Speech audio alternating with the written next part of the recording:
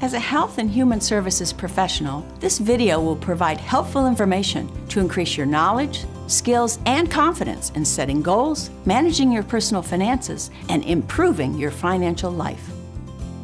Welcome.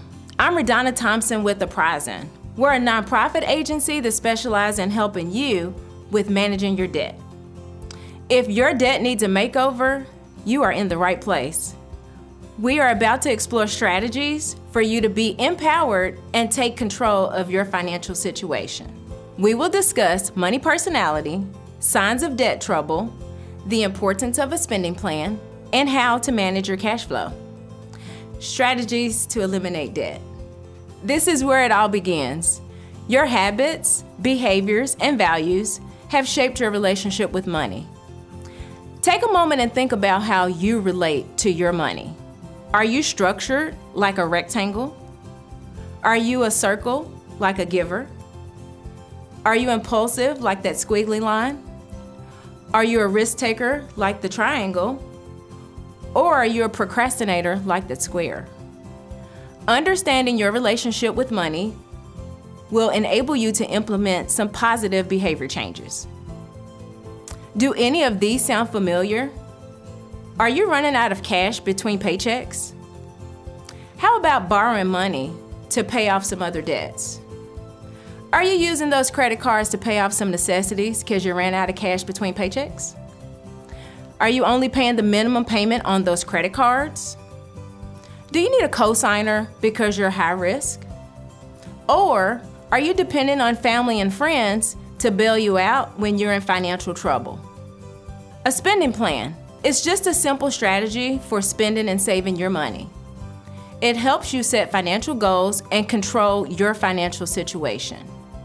Start tracking your expenses to find all of your spending leaks, whether they're variable, fixed, or periodic. Identify your needs versus your wants. Use that to prioritize your spending. Overall, make cuts and adjust as necessary. Where a spending plan is a strategy for spending your money, cash flow measures the in and out motion of your money. It's more time period specific. The best way that you can implement this is on a paycheck by paycheck basis. It allows you to determine if you have a positive cash flow or a negative cash flow within that time frame, and it allows you to make adjustments accordingly. So if it's positive, that means that you've earned more than you've spent. Great job. Now, if it's negative, that means that you spent more than you actually earned. We got a little work to do.